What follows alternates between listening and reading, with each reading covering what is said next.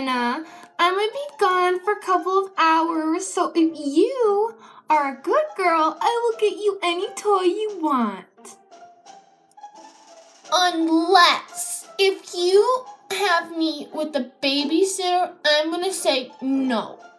Well, honey, you certainly have no choice whatsoever.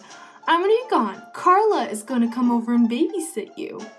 I don't like Carla. She's mean and she's stupid and she doesn't know like what I want to do. I want you to behave, okay, honey? All right. I'll be back in two hours. Oh, by the way, here's Carla right now. Hi! I was just straightening my hair. Sorry I was late. Oh, you're so fine.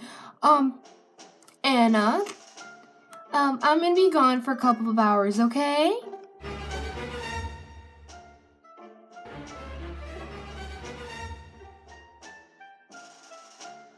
So the plans that you have to do today are to, well, make her lunch. Uh, just hang out with her for a couple of hours until I get back, okay?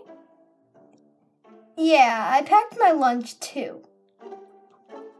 That's awesome. I have some leftover pizza in the fridge if you want any. Also, uh, she has to have her water temperature that she drinks out of the faucet has to be 50% hot, 50% cold. You know, in the middle, you know. Oh, okay, but you know, I'm lactose intolerant, just to let you know.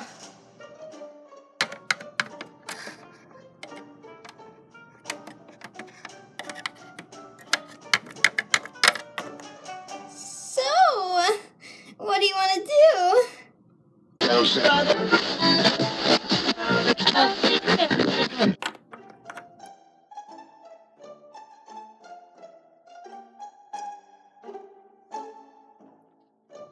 So, what do you want for lunch?